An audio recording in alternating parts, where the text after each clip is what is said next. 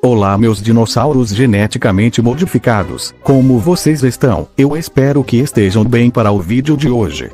Como todos aqui já sabem, que Jurassic Park foi um sucesso absurdo por causa dos dinossauros. Há muitos dinossauros se tornaram famosos para os seus telespectadores, como o Tiranossauro, o Velociraptor, o Brachiosauro até o Sinoceratops, que se tornou popular depois do lançamento de Jurassic World Fallen Kingdom. Mas agora eu irei comentar sobre os dinossauros que infelizmente não conseguiram ter o seu papel nos filmes da franquia, e acabaram sendo cancelados do roteiro, e esses animais perderam a chance de se tornarem um dos dinossauros favoritos para alguns fãs da franquia. Vamos agora explorar todos esses animais que foram deletados, começando pelo Jurassic Park.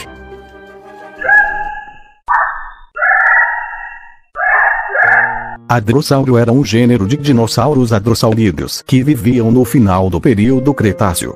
Foi descrito em 1858 por Joseph Leyden Adonfield, Nova Jersey. Seu crânio nunca foi descoberto, por isso é discutível a forma da cabeça, se ela se parecia com a do Critosaurus, que viveu ao mesmo tempo e lugar, ou como a dos hadrossaurídeos posteriores, como o Edmontossauro ou o Parasaurolophus. O hadrossauro é visto na tela do Holoscape no Centro de Inovação do Jurassic World, embora atualmente não se saiba se algum deles reside dentro do próprio parque. Durante a fase de pré-produção do primeiro filme, o Hadrossauro foi originalmente planejado para ser usado em uma cena que tirou diretamente do romance em que Alan Grant e as crianças observariam o rebanho a fugir do Tiranossauro, terminando com o predador atacando e matando um dos hadrossauros.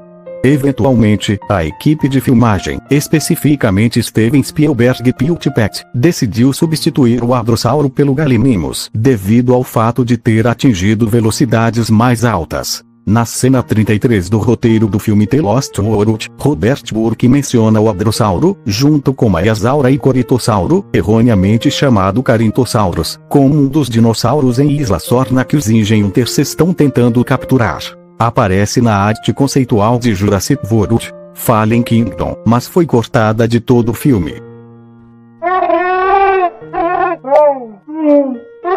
A Maiasaura, um gênero dos hadrosaurídeos, famoso como uma lagarto boa-mãe, como fósseis mostram que cuidava de seus filhotes.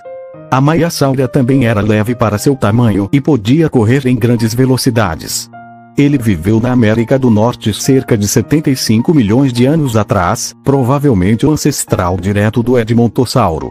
Foi nomeado por Jack Corner e Robert McKella em 1979. Maiasaura tinha uma crista pequena mas pontuda no alto da cabeça, e pode ter sido usada para competir com a cabeça ou para atrair parceiros.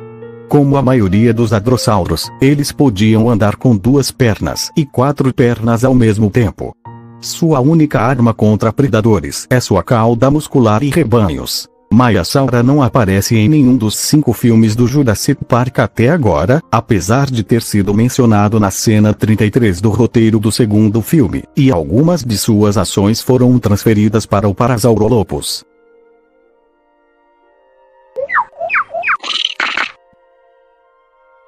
Microceratus é um gênero de dinossauro pequeno ceratopsiano que viveu no período Cretáceo na Ásia. Eu até já fiz um vídeo sobre esse dinossauro no canal. O link está na descrição. No storyboard de Jurassic World, o Microceratus deveria morar nos gigantes gentis. Eles também foram mostrados para ser um pouco agressivo, como mostram no storyboard, quando eles são vistos pulando no rosto de um homem.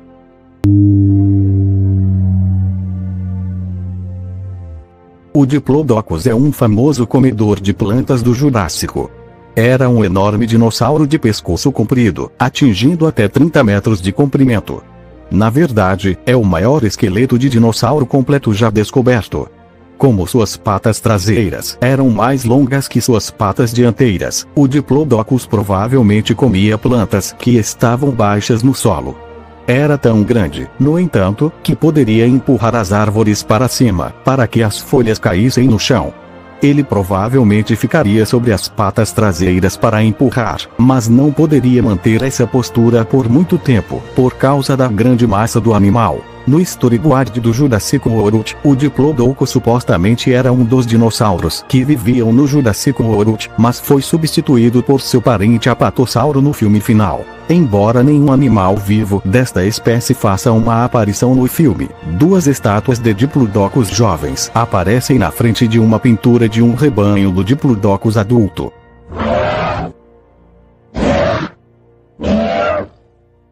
O Gigantoraptor foi um dinossauro que viveu no final do período Cretáceo cujos fósseis foram descobertos na Mongólia Interior e na China.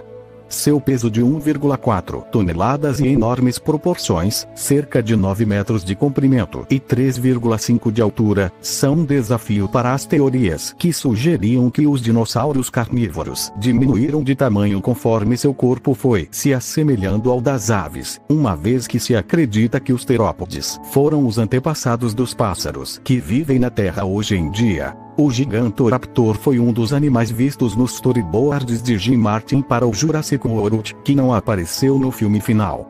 Era visto como um holograma no centro de inovação e como o animal físico em uma atração sucateada junto com o Adrossauro sem crista, provavelmente o Edmontossauro. Se o Gigantoraptor tivesse chegado ao corte final do filme, seria o primeiro oviraptorossauro dos filmes.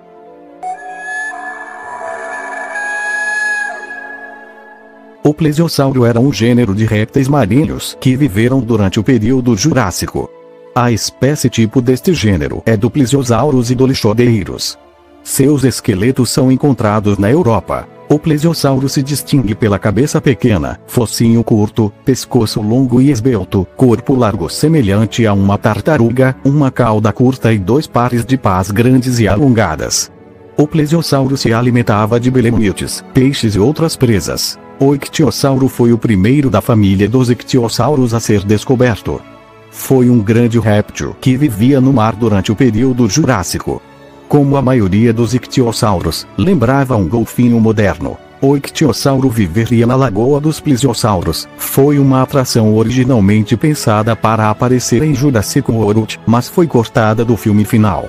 Era para ser uma grande piscina como a Lagoa do Mosasauro, habitada por plesiosauros e várias espécies de ictiossauros. Os visitantes do Jurassic World poderão visitar a atração embarcando em um submarino ligado a um monotrilho.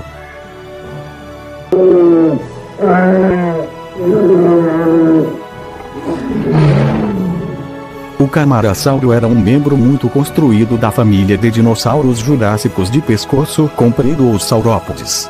É muito bem conhecido pelos cientistas e, recentemente, uma família dessas grandes criaturas foi descoberta no oeste dos Estados Unidos. O camarasauro também é parte de um dos grandes erros da paleontologia, quando se pensava que sua cabeça era colocada no corpo do apatossauro e chamada brontossauro, embora um estudo em 2015 mostrou que brontosaurus era um gênero distinto de apatossauros. Comparado com alguns dos outros saurópodes, o camarasauro tinha um pescoço e cauda relativamente curtos. Também tinha uma cabeça grande em comparação com outros saurópodes, mas a cabeça era quase oca. As aberturas do crânio para o nariz e os olhos eram muito grandes. Este é o saurópode norte-americano mais comum encontrado, com mais de 10 esqueletos bastante completos, desenterrados até hoje. Pelo menos quatro espécies foram identificadas dentro desse gênero. O camarasauro foi destaque em algumas artes conceituais para Jurassic World, Fallen Kingdom. No entanto, Colin Trevorrow confirmou que não havia planos para ser adicionado ao corte final.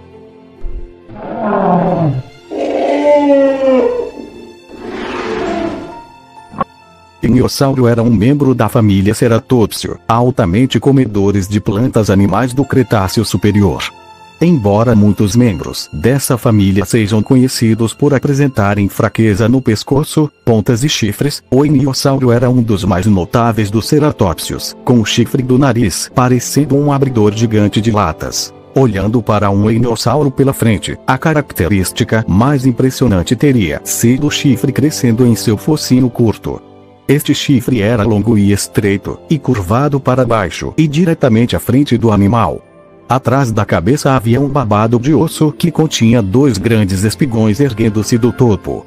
Isso apresentaria uma aparência formidável para qualquer predador que se aproximasse desse animal. O Eniossauro foi destaque em algumas artes conceituais para Jurassic World, Fallen Kingdom. Infelizmente junto com o Camarasauro, Colin Trevorrow não havia planos para ser adicionado ao corte final.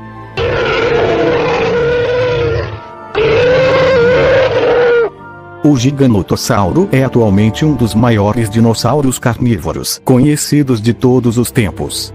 Foi encontrado em 1995, os paleontólogos Rodolfo Coria e Leonardo Salgado relataram a descoberta de um novo comedor de carne maior que qualquer lagarto tirano.